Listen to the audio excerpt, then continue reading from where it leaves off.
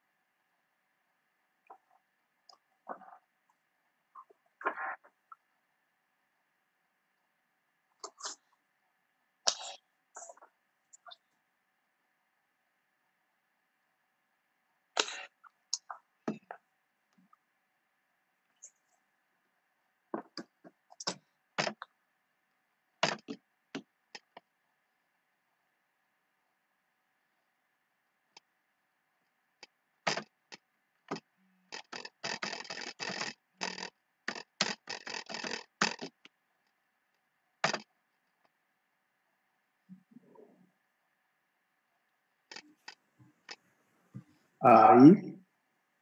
Boa noite. Tava... Começou agora o Sem Estúdio, uma produção do Editorial J, o laboratório convergente do curso de jornalismo da FAMECOS, da PUC do Rio Grande do Sul. E o Sem Estúdio é um programa semanal de entrevistas coletivas, feita por alunos de jornalismo com jornalistas, onde todos da audiência podem participar enviando perguntas pelo Facebook e eu sou o Lucas Canever. Estão comigo para essa entrevista os meus colegas do segundo e terceiro semestre, Felipe Conte, Rafael Zanotti e a Tainá Costa. Bom, o nosso entrevistado de hoje é o jornalista Cristiano Dalcin, formado na Universidade Federal de Santa Maria e já está nativa há 25 anos. Ele passou por várias emissoras durante sua carreira, inclusive RBS TV, SBT, Canal Rural e desde 2012 está na Record TV aqui do Rio Grande do Sul. Bom, Cristiano, boa noite. Uh, gostaria de agradecer a tua boa presença. Noite. Boa noite. É muito bom estar aqui conversar. A gente tem conversado muito através de dessa maneira, com, até com os parentes da gente, né, que estão longe, que a gente não pode ver, e com amigos que a gente não pode encontrar. Eu acho que hoje em dia é tudo assim, né, nessa nessa temporada que a gente tem que se cuidar e tem que ficar mais em casa. Né? Isso mesmo. Bom, uhum. Cristiano, eu começo perguntando para ti como a pandemia impactou na tua rotina de trabalho. Tu falou sobre a como, com os parentes, agora eu quero saber como, é, como está sendo no, no trabalho. Impactou muito, muito, e de uma hora para outra, de um dia para o outro, assim, quase como como todo mundo. A gente vê e conta as histórias aí diariamente das pessoas uh, comerciantes que estavam trabalhando e veio um decreto, tiveram que fechar. E o mesmo foi com a gente. De um dia para o outro, a gente teve que mudar a maneira de trabalhar para poder se adequar a isso e para poder se proteger mais. Eu lembro que o último dia que a gente trabalhou, uh, eu, eu não lembro o dia do mês que foi, mas o último dia que a gente trabalhou com muita gente, com, uh, com aglomeração, uh, com muitas entrevistas em cima, assim, quase abraçado, foi no, foi no Grenal, no, lá na Arena que era uma quinta-feira, eu acho, acho que por ali. Aquele dia eu fiquei fazendo as entradas ao vivo antes do em dois jornais aí do fim da tarde, com a torcida indo para a arena. E era aquela coisa, tá contando, tá mostrando o trânsito, tá falando que as pessoas estão chegando e vem aqueles, abraço, e, e o, o, repórter ele fica muito no meio de tudo ali.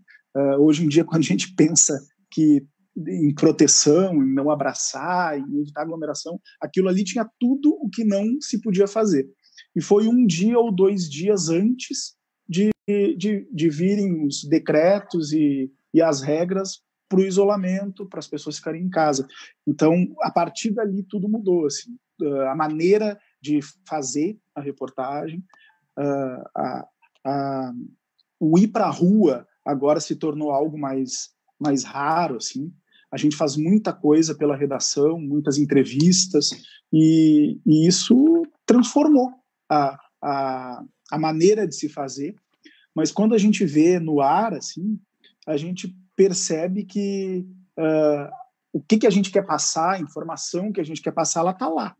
Está lá, a pessoa que está em casa às vezes nem percebe muito se a qualidade não está boa na, na entrevista e tal, uh, mas o que a gente quer dizer, o que está acontecendo, a gente consegue passar. Agora, o que tem por trás, aí é muita, muita coisa diferente. Né? Uhum. Cristiano, tu falaste que muita coisa está sendo feito à distância, entrevistas, através de redes sociais, mas mesmo assim tem muita atividade rua ainda sendo feita. Tu é um repórter que eu vejo que está bastante na rua e como é que é estar na rua? Que tipo de medidas vocês têm que tomar de precaução para higienizar equipamento?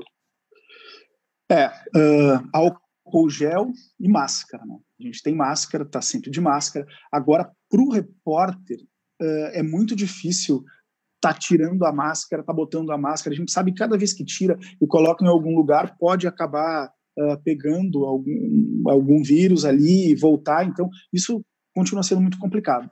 No nosso dia a dia, na maioria dos dias assim da semana, a gente tem fechado a matéria, uh, a maioria das matérias por redação, entrevistando. Hoje eu fiz uma matéria sobre mensalidade, os descontos nas mensalidades das escolas que os, as escolas privadas estão dando para por causa da pandemia, porque as, por causa da crise.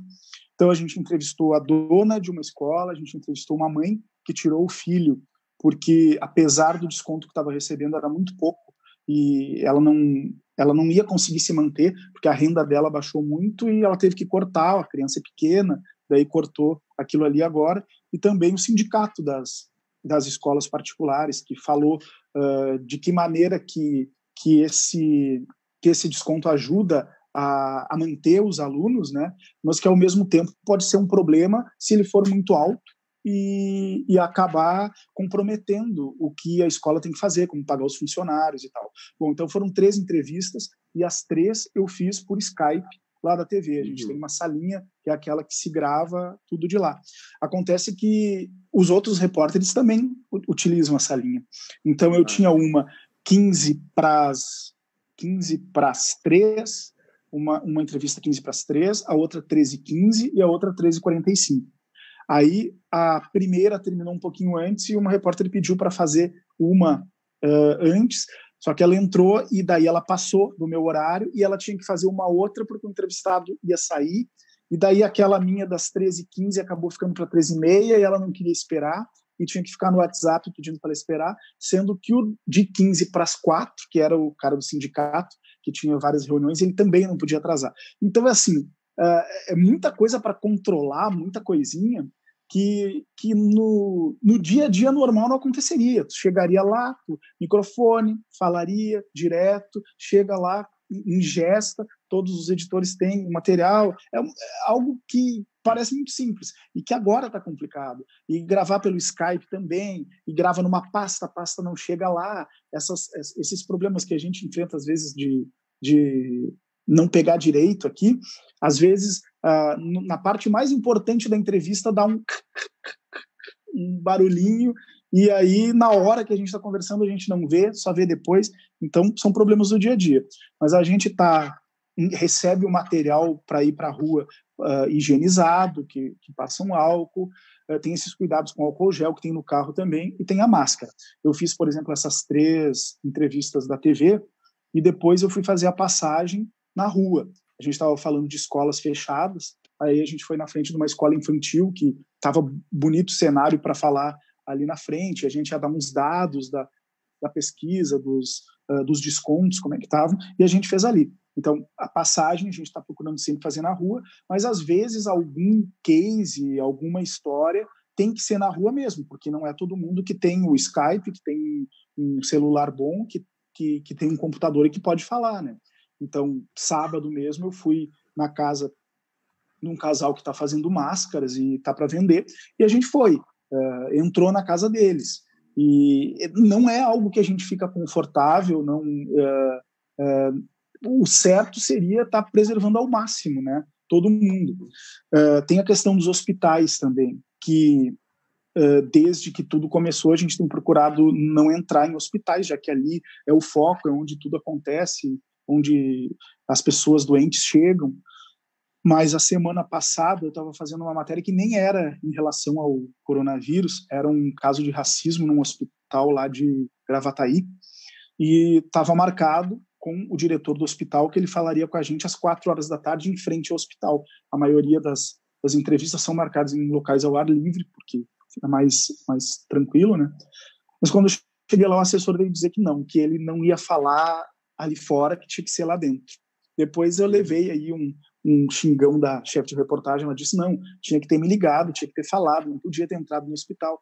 Só que ali era uma matéria que eu tinha pouca coisa, sabe? Eu tinha o, o, o cara do, do racismo que denunciava, tinha o delegado, mas era muito importante ouvir o hospital, não só por uma nota, que a nota é aquela coisa fria ali. O cara ia falar e daí dava para questionar, dava para perguntar as coisas, já que era uma coisa bem polêmica, com câmeras de segurança que mostravam, é, era importante ouvir ele. E aí, na hora, eu nem pensei em avisar a chefia de reportagem. A gente foi e entrou no hospital. Ele disse que era bem tranquilo. Eu botei máscara, e só que era no sétimo andar. E aí, elevador de hospital é uma coisa que demora muito. A gente demorou quase uma meia hora para chegar lá. E depois eu fiquei pensando: será que a gente devia mesmo ter ter subido, né? Porque às vezes a gente esquece, a, a, preocupação aqui é em fechar a matéria, é no que, que a gente vai fazer, no conteúdo que vai levar, e a gente esquece do risco que está correndo, né? Uhum, exatamente. E esse risco aí passa pela tua cabeça? Qual é a sensação de se expor a esse tipo de ambiente, ainda mais nessa circunstância que a gente está vivendo?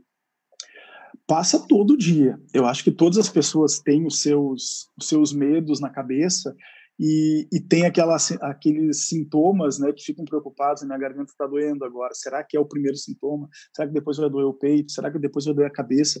Qualquer sintoma desses que apareça, a gente já fica pensando. E isso é com toda a equipe, né? com o cinegrafista, com o motorista que sai com a gente. O motorista que sai comigo, quase sempre, ele ficou uma semana fora, porque ele estava com dor de cabeça, estava uh, teve febre e sentia falta de ar. E ele foi numa unidade de saúde, disseram para ele ir para casa, esperar, ficar o tempo ali, não sei o quê, deram um remédio para ele e tal. Ele foi, ele voltou a trabalhar. Ele está bem agora. A gente não tem ideia se ele teve alguma coisa, se era uma gripe só, o que, que era que ele teve. Ele voltou a trabalhar, está bem. A gente tinha ficado com ele um tempão antes, quando talvez ele, se ele tivesse, ele poderia ter passado alguma coisa, mas mas por enquanto está tudo bem. Eu eu eu sinto muito muito medo toda vez assim que que a gente para de pensar no que está produzindo e vê o risco que está correndo ao redor. Tem tem dias que a gente tem que fazer essas entradas ao vivo no centro e teve um feriado agora, acho que foi dia 21 de abril, que estava bem deserto, é, acho que foi 21 de abril. Estava bem deserto no centro e a gente tinha que entrar lá do mercado público para falar sobre funcionamento, movimento e tal, não sei o quê. Só que era a tardinha, era num, num bloco do jornal a tardinha que entra para todo o país ali, e é muito curto, é uma entradinha de um minuto, menos de um minuto. Então tu tem que estar tá pensando no texto para não errar, porque não dá para improvisar, não tem aquele tempo no jornal de uma hora, duas horas e, e tem outros que entrar, é muito controlado.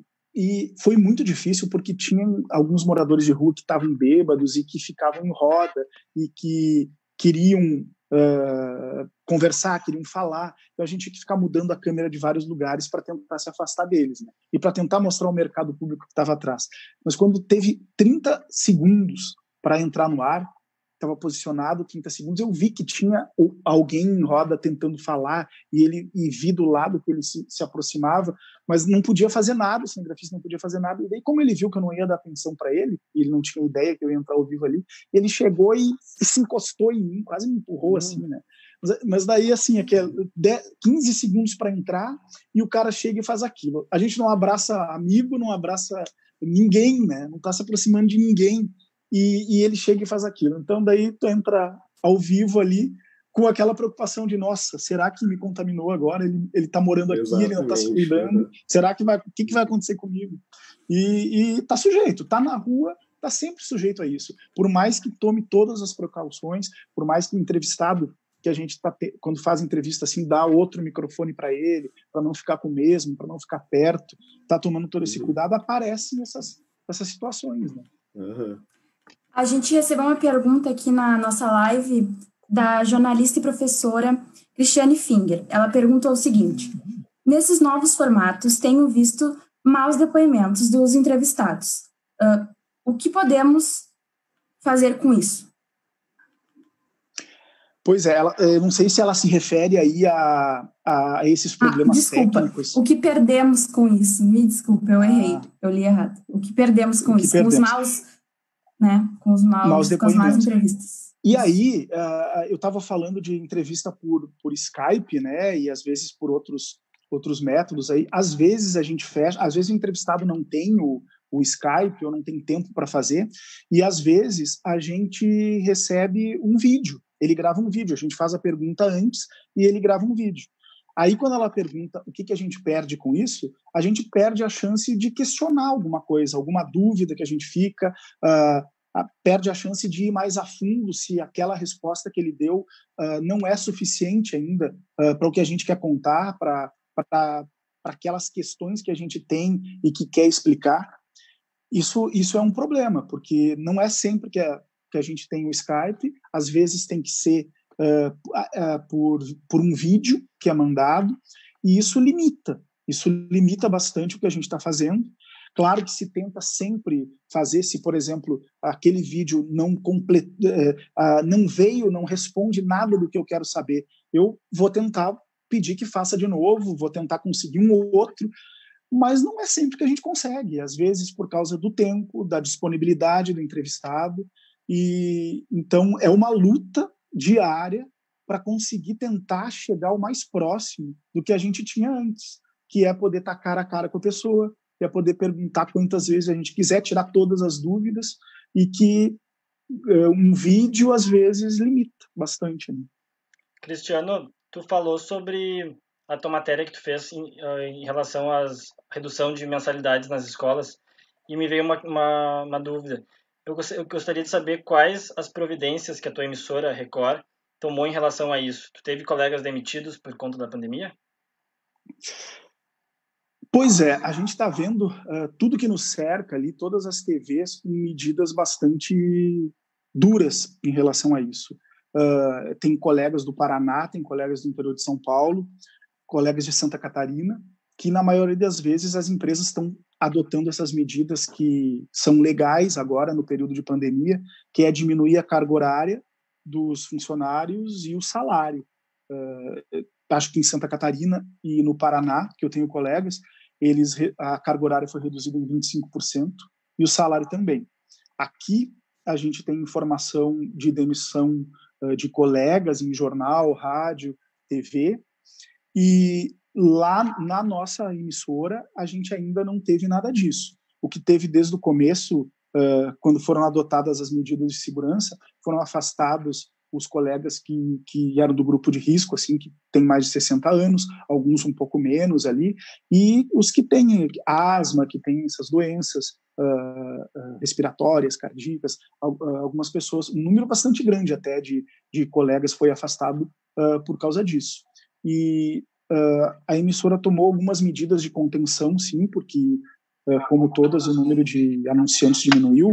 E lá a gente teve uh, a questão das férias, que as férias foram adiadas agora, quem não está no limite de férias que é obrigado a tirar, uh, as férias foram adiadas, daí a TV não tem que pagar aquele adicional das férias para as pessoas que estão saindo, e também o fundo de garantia, uh, por três meses, até julho, ele não vai ser depositado, só vai ser depois disso. É algo assim que, que não influencia tanto assim na gente agora, quanto uma redução de salário, e, e não a gente não teve mais nenhum comentário sobre outra medida de contenção que possa ter lá.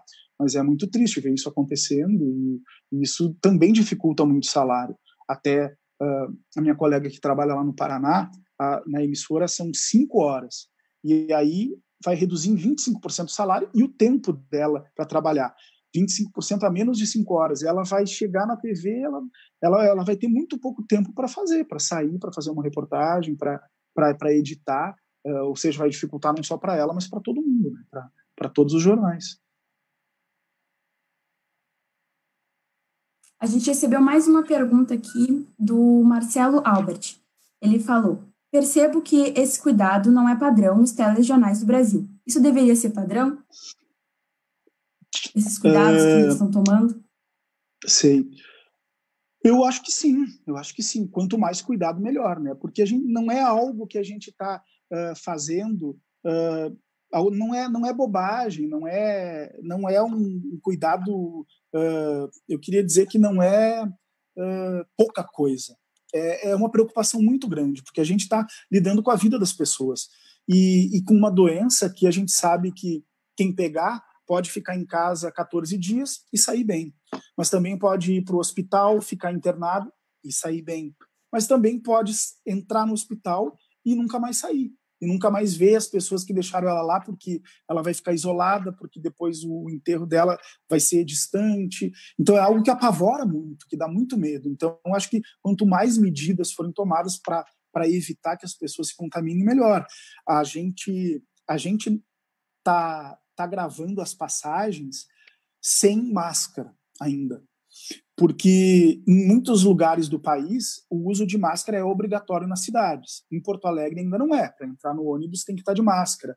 Está uh, é, é, tá muito mais um cuidado em cima da pessoa. Para ir no supermercado, tu tem que se preocupar e tem que ir de máscara. Mas o supermercado não proibiu as pessoas de entrarem ainda aqui se não tiverem sem máscara. Em muitos lugares já proibiram. Eu fiz uma reportagem em Farroupilha, lá na Serra, há duas semanas, que é uma cidade que, que impressiona, assim, porque tu anda na rua e tu não vê ninguém sem máscara. Todo mundo usa máscara, porque é lei, tem que só vai subir no ônibus se tiver de máscara, só vai entrar na loja se tiver de máscara. Não tem multa para quem não tiver, mas ali tem muito do talvez da tu fica estranho, né? Se todo mundo tá usando e tu não tá, uh, tu meio que se obriga assim a usar, né? O certo seria se preocupar com contigo mesmo e se preocupar com os outros, né? Porque se cada um fizer o seu, ninguém não vai não vai se espalhar tanto. Mas então lá em Farroupilha eu vi isso. Aqui em Porto Alegre ainda não tem essa obrigatoriedade do uso. Então a nossa chefia diz que quando tiver, a gente vai gravar passagem na rua de máscara também, porque a gente não pode estar tá sem, não pode estar tá contra o que diz o decreto, o, que manda é, essa lei. Agora, uh, a gente já recebeu muita crítica por estar tá na rua e por estar gravando sem máscara. Uh, a gente fica o máximo de tempo com ela possível. Mas na hora de gravar, tira, até porque fica estranho. Uh, a, a, a voz fica estranha, abafa o som. E a gente já recebeu até recados de pessoas que, que têm deficiência e que observam a boca, né, a, a, a, a linguagem através da leitura labial e que se a pessoa está de máscara, a gente fecha o mundo deles ali, né? Eles não veem mais aquilo. Mas, enfim, é, é um cuidado que, na medida que for, uh, que for, que tiver por decreto, que for obrigatório, a gente vai estar tá até mesmo uh, na rua falando de máscara. Dalcin, uh, ao mesmo tempo em que a gente vê muita gente tomando esses cuidados, andando usando máscara, passando álcool gel, evitando aglomerações, tem muita gente que não faz isso. Tem muita gente que acha que esse vírus é só uma gripe, que não vai pegar e é complicado. Que tipo de recado gostaria de passar para essas pessoas? Pois é, e a gente não precisa ir muito longe para ver isso. A gente vê muitos uhum. relatos que chegam das pessoas que mandam o WhatsApp para o jornal na hora que ele está no ar lá, falando que no centro, que nos bairros mais próximos do centro tem um isolamento maior assim, mas que se vai para a periferia e não muito longe, a gente recebe de bairros aqui mais da zona sul, Cristal, Tristeza, dizendo que tem praças que as pessoas estão na praça direto jogando bola, que estão sentadas uh, em cadeiras lá, como se se a gente não tivesse meio uma pandemia, né? E aí eu fico pensando assim, uh, uh, a gente só ouve falar disso, se liga a TV o dia inteiro, se fala disso o dia inteiro. O que mais a gente poderia fazer para que as pessoas se conscientizassem que é grave? Todo, tá, tá, dando na TV toda hora que tá, que tá morrendo 400 pessoas, que tá morrendo muita gente, e a gente sabe que esses números são muito maiores, porque os testes são muito poucos ainda. Então, eu fico apavorado.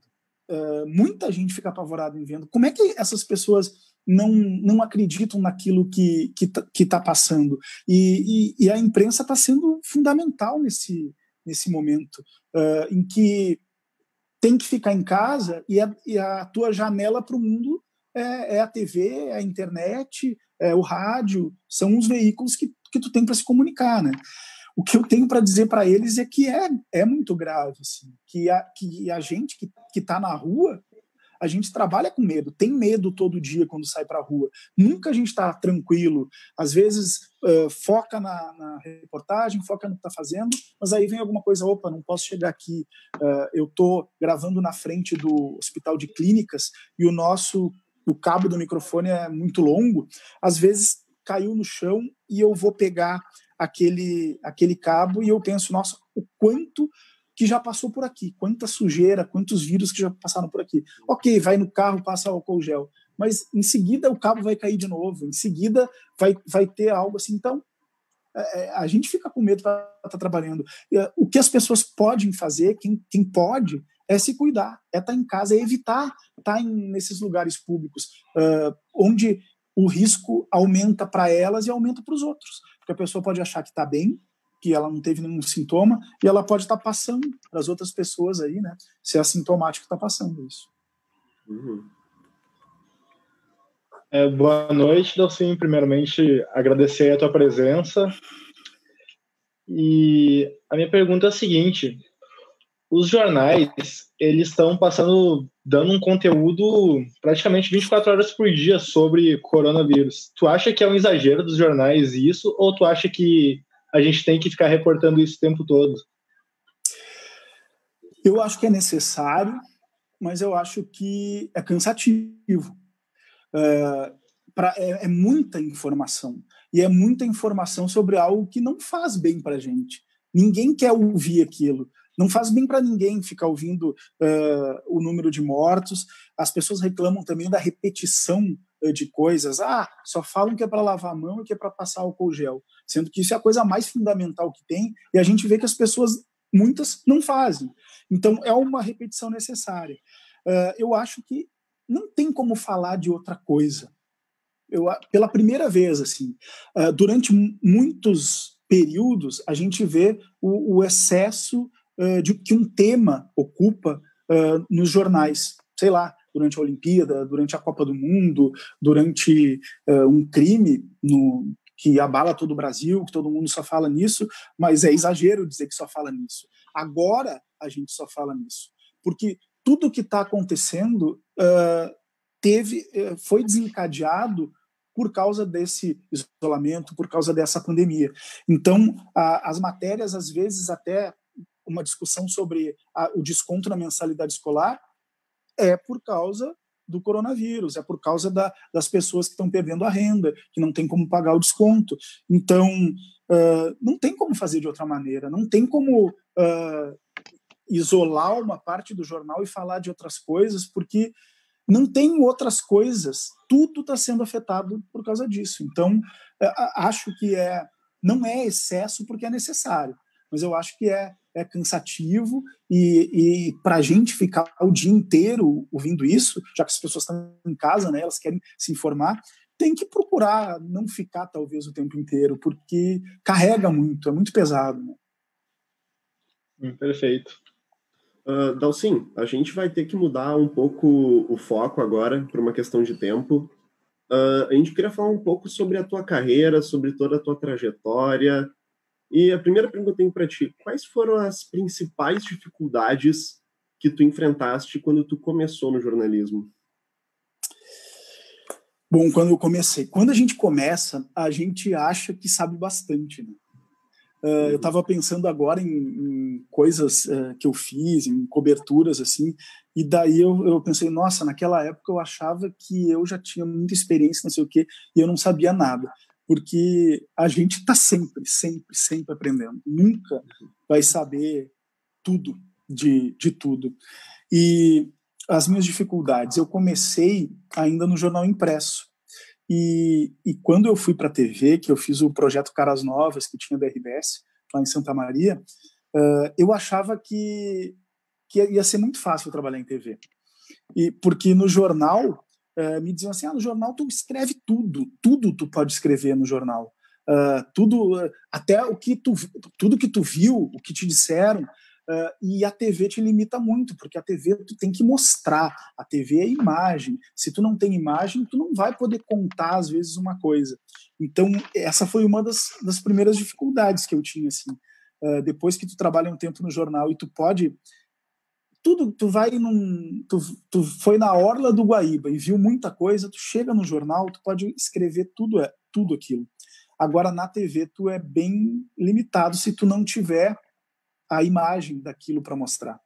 Tu pode escrever, pode fazer uma passagem contando, alguém pode numa entrevista também contar, mas a, a minha dificuldade no começo na, na TV foi mostrar, né? Tu tem que ter, tu tem que mostrar.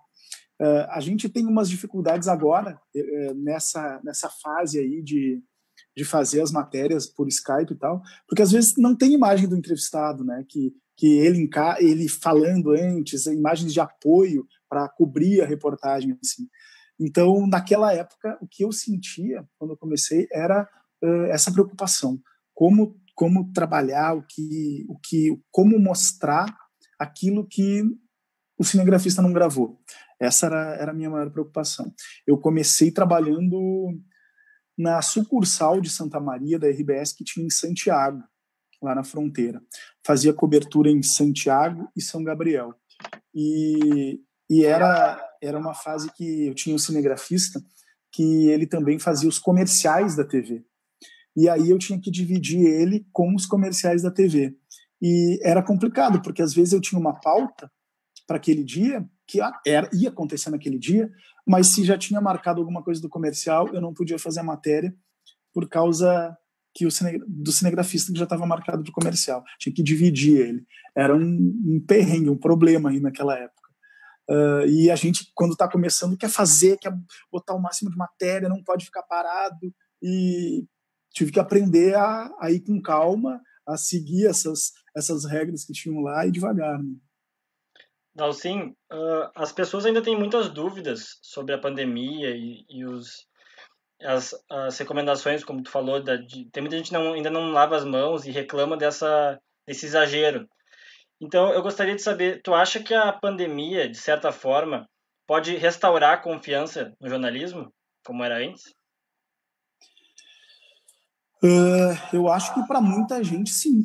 Tem muita gente uh, assistindo mais a gente, correndo atrás de informação mais do que já do que já devia, porque é algo novo. E, é, e importante é que as pessoas busquem essa informação nas fontes confiáveis. Né? A gente hoje tem uma concorrência uh, de fake news que chegam através do WhatsApp, que chegam através das redes sociais, e eu acho que maior que o desafio de, de conquistar essas pessoas, de mostrar a, a nossa importância, é fazer com que elas não corram atrás dessa informação errada, porque essa informação errada que um é quase como um vírus, né? Uh, uma pessoa que pega aquela informação errada e passa adiante, ela vai seguindo e as pessoas passam a acreditar naquilo que não existe. Então, mais do que nunca tem que tem que prestar atenção uh, na informação que a gente está passando, que os jornalistas estão passando. E, e, e, é complicado, sabe? No começo da, da, da pandemia, a, a informação que Organização Mundial de Saúde dizia era assim: não use máscara. máscara é para quem já está infectado e para os profissionais da saúde. Era o que a gente dizia. Aí, de um dia para o outro, a Organização Mundial de Saúde disse não, todo mundo tem que usar máscara. E aí é isso que está acontecendo agora, essas obrigações de entrar de máscara em todos os locais. Isso está mudando muito, porque ninguém sabe muito sobre, sobre esse vírus. E até eu ia falar agora, eu falei da máscara, né, que mudou, e tinha uma outra coisa que tinha mudado, de, de regra, assim, que agora não lembro, se eu lembrar depois eu, eu, eu volto a falar mas que, ah, assim, ó, o que se achava até pouco tempo é que quem fosse infectado uma vez adquiria anticorpos e estava livre, não ia pegar de novo. Essa semana eu já vi a Organização Mundial de Saúde diz, dizendo que não tem certeza que se uma pessoa pegou, ela não pode pegar de novo. E isso muda tudo que a gente vinha pensando até então. o risco é muito maior. Aquelas pessoas que já tiveram, elas não estão protegidas elas ainda correm risco. Então, lavar a mão e, e, passar o álcool gel é, é muito importante. Eu tenho aqui em cima da mesa de casa, tem esse álcool gel aqui, que eu comprei no supermercado. Tem esse aqui que eu pedi numa tela entrega e até hoje eu não consegui abrir. Ele tem um problema que eu não consegui abrir. E tem esse outro álcool aqui, ó, que eu deixo a mão aqui para passar nas compras assim do supermercado. Eu não sou muito neurótico com isso. Tem gente que tem passado e lavado todos os itens que traz do supermercado. Eu comecei a fazer isso há umas duas semanas. É muito difícil. É muito complicado chegar com tudo e fazer um por um. Mas a gente toma tanto cuidado, né? Vai fazer dois meses aí tomando tanto cuidado. E aí, se por um deslize desse, se botar para dentro de casa algo que veio de fora, uh, pegar, né? Então, acho que nada é demais, nada é demais quando é para proteger a gente. Né? Com certeza. A gente recebeu mais uma pergunta aqui da Raquel Cadori. Ela perguntou: O que tu acha que modificou para os profissionais do jornalismo com a pandemia? Que foi positivo e que, e que permanecerá pós-pandemia? Pois é, a gente tem ouvido muito falar que depois da pandemia nada vai ser como era antes. E isso não só no jornalismo, mas em todas as coisas.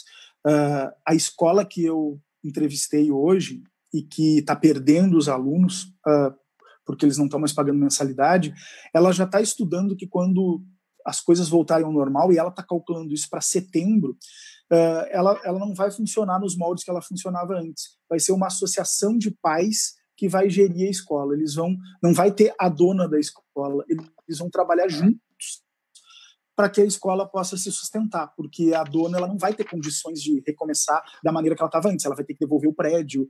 Então, é um exemplo. E, e eu acho que o jornalismo que a gente está fazendo hoje, com os recursos que não são tantos quanto os que a gente tinha antes, talvez isso faça com que depois, quando as coisas voltarem, a gente não, a gente passe a aceitar uh, às vezes uma informação que chegue que não é com uma qualidade técnica tão boa, algo que antes uh, o editor-chefe do jornal derrubaria, porque uh, a qualidade não está boa, porque o sinal está com chuvisco. Hoje a gente tem colocado às vezes no ar porque é o que se tem e a gente não vai ter, não vai conseguir de outra maneira, ou que o entrevistado só vai entrar com aquela qualidade de sinal. Eu acho que talvez depois que, que as coisas voltarem a, a, ser, a ser mais tranquilas, assim, né? O normal talvez não volte nunca tão normal como era, a gente talvez não exija tanto, uh, porque o que realmente importa é a informação que a gente está passando, né? Essa qualidade que, que a gente sempre tenta buscar, talvez ela não seja mais tão importante depois disso. Dalcin, então para fechar o assunto sobre a pandemia, eu gostaria que tu fizesse um, um levantamento assim.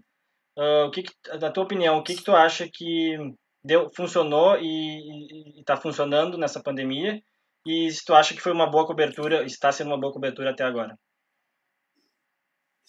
O ruim de fazer uma avaliação como essa é que a gente não pode comparar com uma outra, uh, com uma outra cobertura parecida. Uh, é difícil dizer, será que a gente está fazendo melhor porque nunca a gente fez algo assim. Uh, eu, eu acho sim que o que a gente está fazendo é o possível. é o possível. A gente não pode estar tá, uh, mais dentro dos hospitais como a gente estava, porque o risco é para a gente, o risco é para as pessoas que estão lá.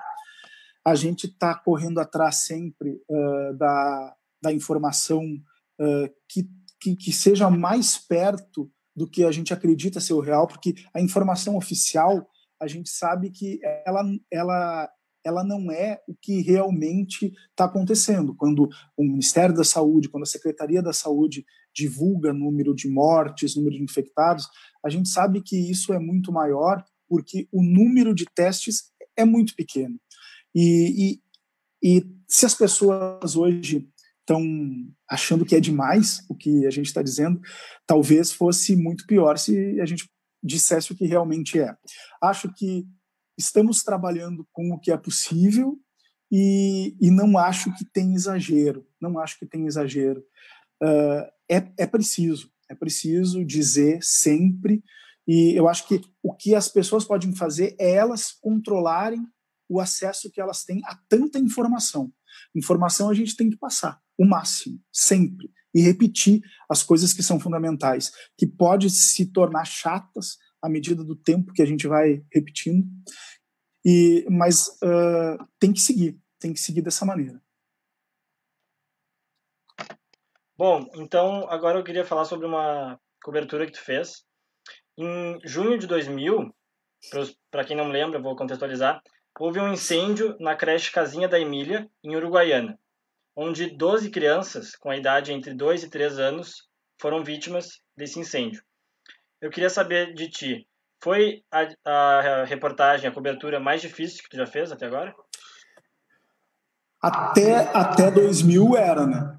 Até 2000 era. E é, é impressionante como depois, a gente acha que, que já fez, que fez algo muito difícil, que nada vai impressionar tanto, e aí vem outra coisa e vem eh, mudando e depois vem outra e vem mudando.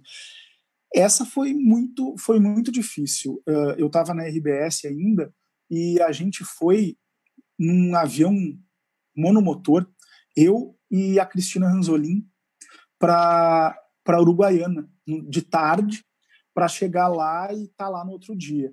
Uh, eu estava de tarde trabalhando, fazendo uma outra matéria que não tinha nada a ver, uma matéria sobre um serrote musical, e sair daquilo direto, não tem que vir. Eu fui direto para lá sem passar em casa, sem levar roupa, sem levar pasta de dente, escova, saí da TV direto, pegamos a Cristina, uh, hangar, avião e sei quanto tempo que a gente demorou até a Uruguaiana, mas chegou lá de noite eu já comecei a fazer matéria, ela já começou a se preparar para estar no outro dia no Jornal do Almoço mostrando aquilo.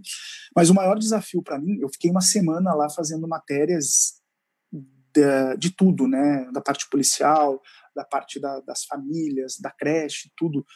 Mas o mais difícil foi fazer uma matéria que era para o programa que tinha no domingo, que era contando a história das criancinhas que tinham morrido. É aquilo assim que a gente sabe que que é, que dói, né? Que dói de ouvir.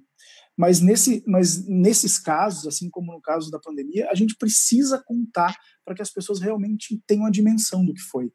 E então eu tive que ir na casa dos pais, mostrar onde as crianças dormiam, contar a história, o brinquedo que elas mais gostavam, contextualizar, mostrar que aquelas 12 crianças eram mesmo uh, reais. Olha aqui, esse aqui era o brinquedinho dela, essa aqui era a cama dela.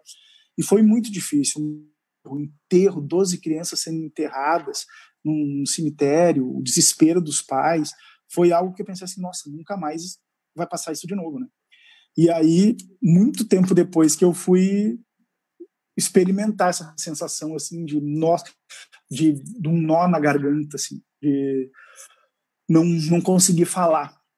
Foi, foi na Kiss, né? Um domingo também, que eu estava em casa aqui em Porto Alegre, já estava na Record, me acordaram e daí me disseram: olha, aconteceu um incêndio lá em Santa Maria, tem que ir para lá. E e, e, e não eram tantas mortos, né? Sei lá, falavam em 20, 30. A gente foi lá e a gente chegou direto no Farrezão, que é o ginásio lá de Santa Maria. E aí tu desce e, e quando tu desce a quadra inteira tá cercada de gente chorando e de desespero. Não é um choro assim, é um choro com grito. E aí ao tu tira a câmera e tu, e tu fica com receio de ligar porque no momento que tu liga, sabe, tu, as pessoas não. Eu, eu, sou muito assim de, por exemplo, tem que fazer cobertura num, num, enterro, a gente chega, tenta falar com um parente e tal. Se as pessoas não querem, a gente faz uma imagem de longe, diz que ninguém quis falar, a gente não tem que insistir. Esse momento é muito. É, é, tão doloroso que ninguém tem o direito de invadir. Agora imagina chegar num ginásio todo, todo mundo chorando daquele jeito, e dentro do ginásio a gente entra e tem fila, fila, fila de caixão, e caixão chegando sem parar. E aí em Santa Maria eu, eu encontrei professoras do colégio, encontrei conhecidos assim que tinham filhos ou parentes que morreram e, e então foi muito, muito difícil. Teve mais uma depois ainda também, que depois da saída daqui eu achei que não ia poder. A gente foi fazer a cobertura da Chapecoense, uh, ficamos uma semana lá antes da chegada dos corpos. E daí era aquela coisa, uh, ficava na expectativa, vai chegar amanhã, vai chegar outro dia, e o vindo, mostrando os preparativos para o enterro, para o velório, uh, parentes lá. Agora, no sábado, foi o dia que eles chegaram, a gente chegou lá na. Eu já emendei o assunto aí, né? É que eu, fa... eu falei de uma, lembrei da outra e agora lembrei dessa é, no sábado, a gente chegou no aeroporto de Chapecó, tinha que fazer inscrição para estar tá posicionado lá no local onde é que os, os, caixões iam chegar. E tinha a Folha de São Paulo, tinha sido a primeira, a gente era a segunda, e depois teve uma fila de centenas de jornalistas. Quem chegou primeiro pôde pegar um lugar melhor ali para poder mostrar. E choveu, choveu, choveu, choveu, assim, que era água que não, não, não podia ser menos, sabe? Era é, quase de não poder enxergar de tanta água. E o momento que aqueles corpos começaram a descer dos aviões e, e, e tinha uma banda tocando, aquele foi uma das coisas mais tristes assim que eu já vi. A gente seguiu também depois o carro dos bombeiros até o, a Arena Condá, onde é que foi o, o velório lá, e o, o estádio todo lotado de pessoas, e a chuva não parou em momento nenhum uh, parecia que, que, que tudo estava chorando, não eram só as pessoas na, na, nas arquibancadas, é, era tudo chorando. Então, eu lembrei da creche aí que foi que foi dolorido, mas a gente sempre acha, bom, depois disso nada vai ter mais chocante que isso. E veio a Kise, veio a Chapecoense. E eu fico pensando agora, quando eu vejo uh, os colegas trabalhando em Manaus, uh, lá em Recife, nesses lugares onde é que onde é que o desespero está tomando conta na frente dos hospitais e nos cemitérios, eu fico torcendo muito para a gente nunca chegar perto disso, para as medidas de contenção aqui continuarem, para que sempre os, os, leitos haja um controle do número de leitos uh, e da liberação da, da, das coisas para funcionarem, para que a gente não chegue ao que está lá, porque, por favor, por favor, que não, não se chegue naquilo, né?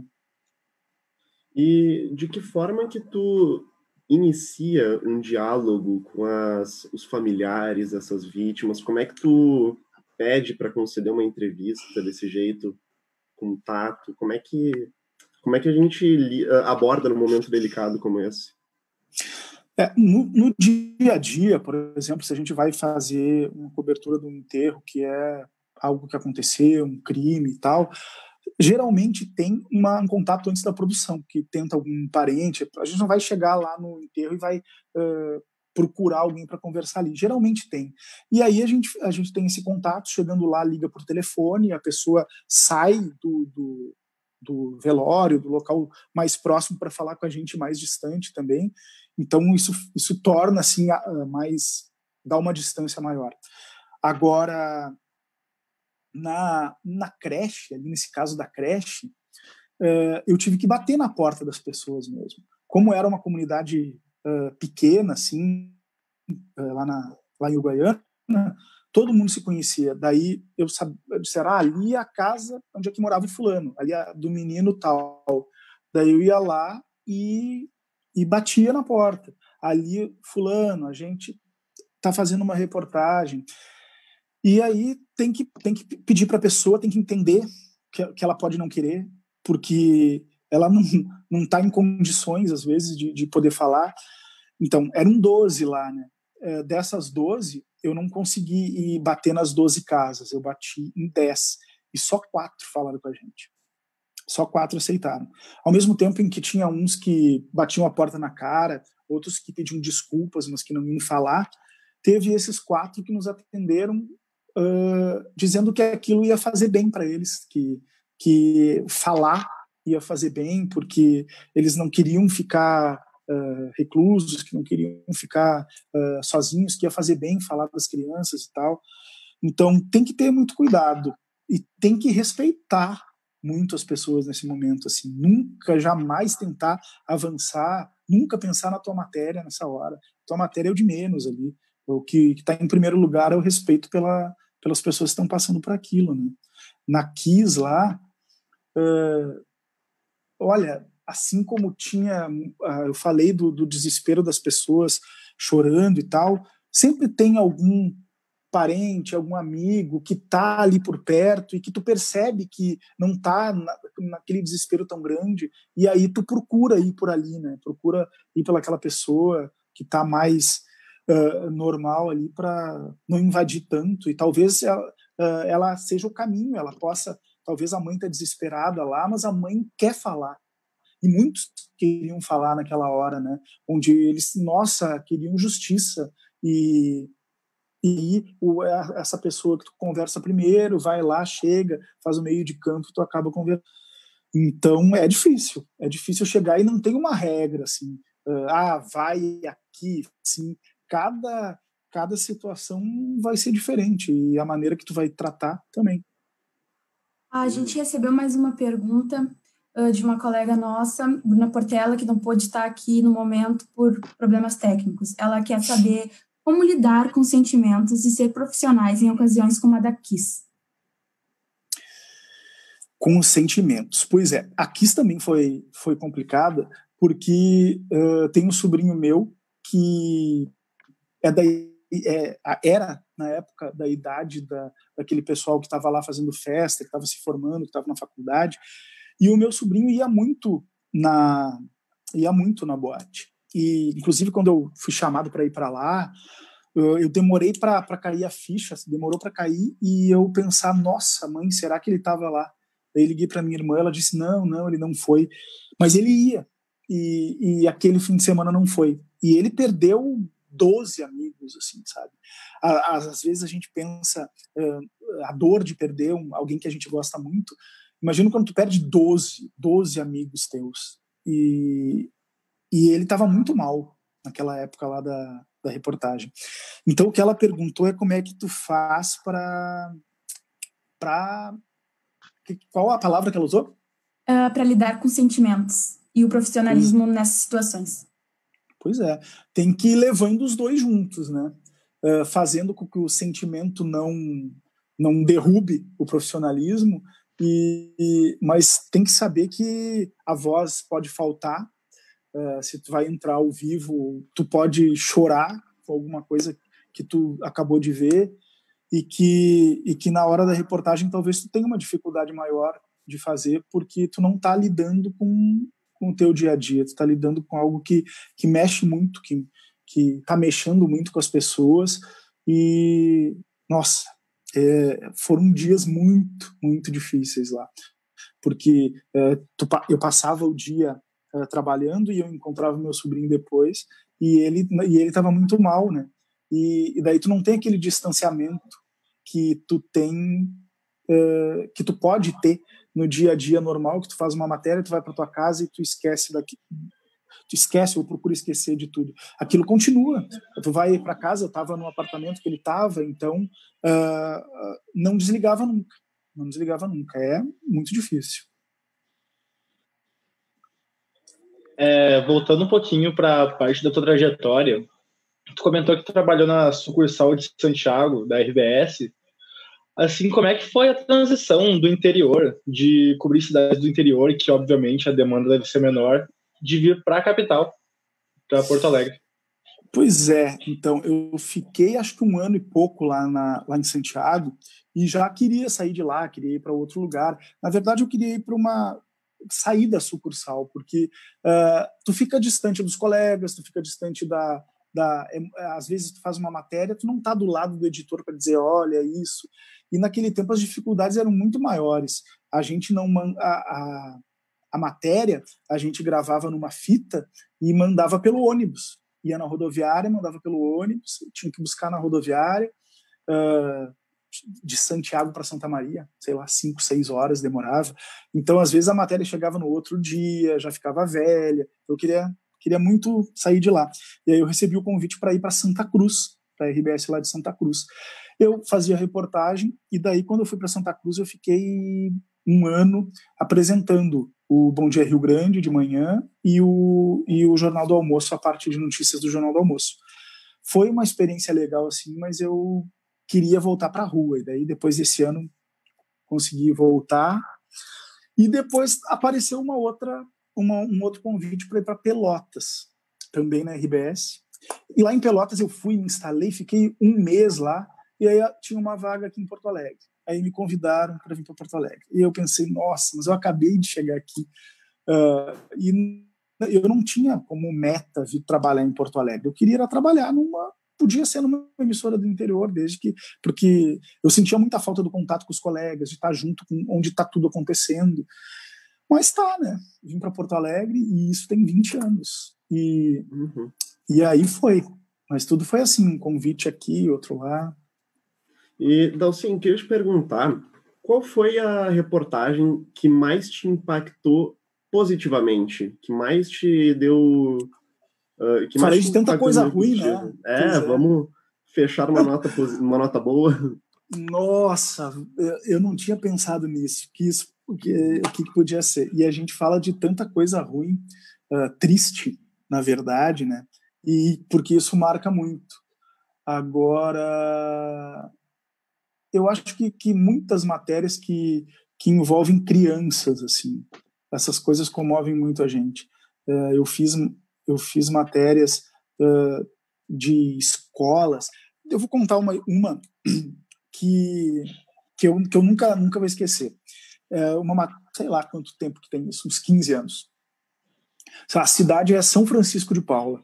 É, uma, é um dos municípios maiores que tem aqui no estado em extensão. Assim, são, a área rural é muito grande. E tem um distrito lá em em São Francisco de Paula, que é Cazuza Ferreira. É longe, longe, longe, longe, anda muito, estrada de chão. E lá tinha uma professora que dava aula numa escola uh, onde nem tinha estrada para chegar.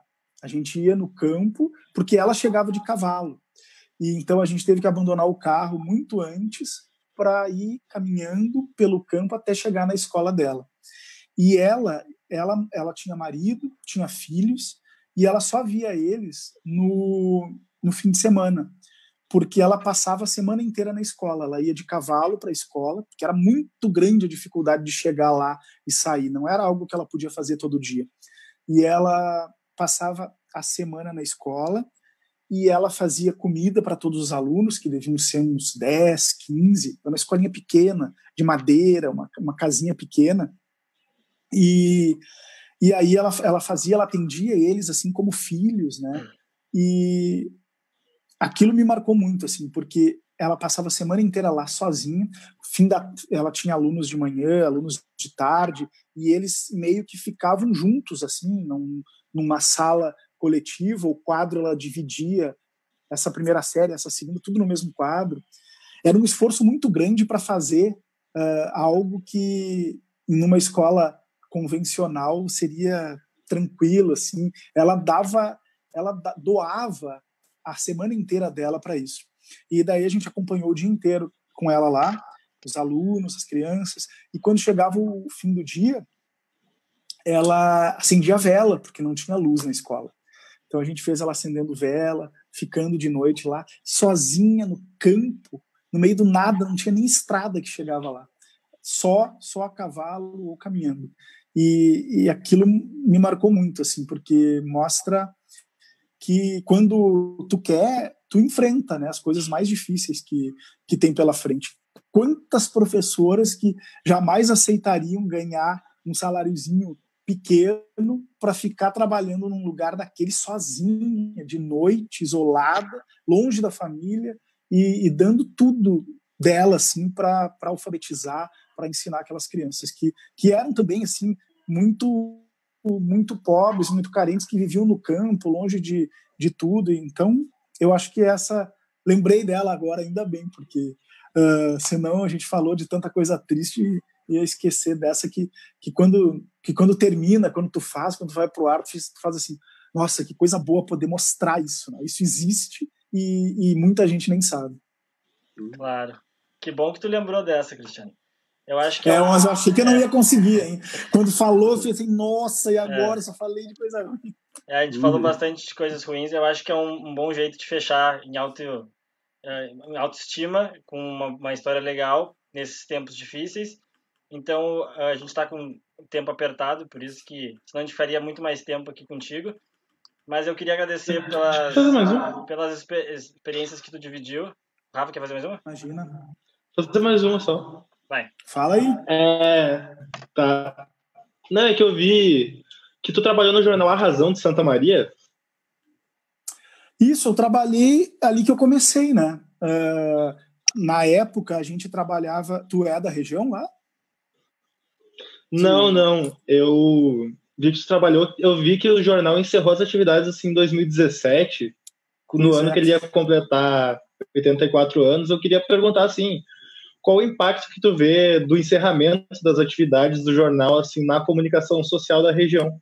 Certo. Tem uma perda gente... muito grande.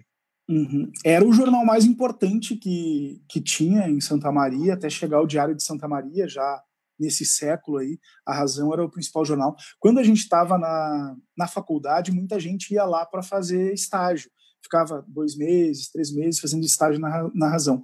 E a gente fez um, teve um projeto, eu acho que o jornal estava fazendo 60, 80 anos, eu não lembro, e aí ia ter um caderno especial desse, desses 80 anos.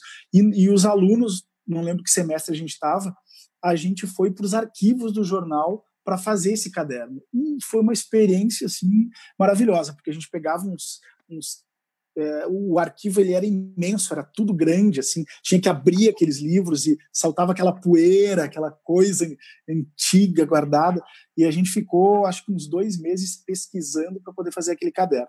E aí eu comecei a trabalhar ali, ainda na faculdade, também foi pouco tempo, eu fiquei três meses porque apareceu esse esse projeto da, RBS e eu entrei para fazer.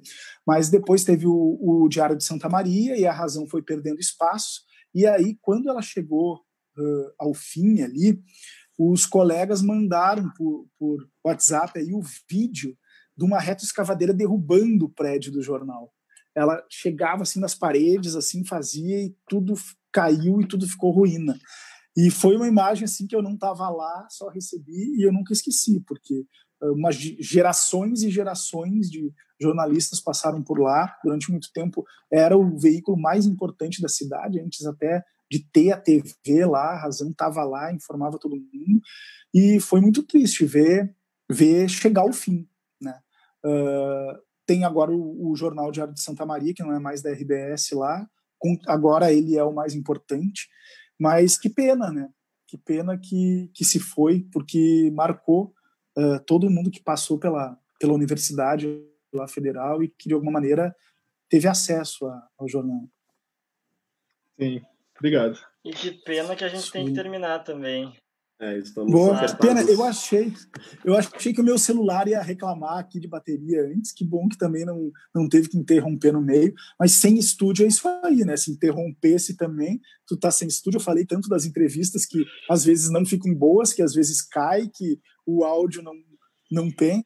Quando tu tá fora do, do estúdio e tá junto numa entrevista, assim, cada um na sua casa, essas coisas também acontecem. Mas ainda bem que não aconteceram Que bom. Então, como eu estava dizendo, o Rafael encerrou agora. A gente queria te agradecer muito pela presença. Espero que a gente tenha outras oportunidades. Foi muito bom. E o Lucas vai apresentar o, o, o próximo episódio agora. Uh, o próximo episódio, semana que vem, terça-feira, mesmo horário, 9 horas da noite, a gente vai contar com a apresentação, com a participação, perdão, da Cristine Galiza, da RBS. Então, contamos com a presença do público semana que vem. Muito obrigado pela audiência de vocês. Dalcin, muito obrigado pela tua presença. Foi muito bom esse bate-papo. Muito é obrigado. Minha amiga, é minha amiga Cristine Galiza. Tratem bem ela. Ah, com certeza, com certeza. assim como me trataram, assim como me Convidamos trataram. você a assistir, inclusive. Não, vou assistir, vou assistir sim. E vou perguntar também. Ah, com certeza. Ótimo. Muito obrigado. Valeu, é isso, pessoal. Sem ah, estúdio vai ficar por aqui.